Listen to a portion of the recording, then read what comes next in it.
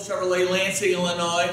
I'm with Steve. Purchases brand new truck, brand new 2017 Silverado.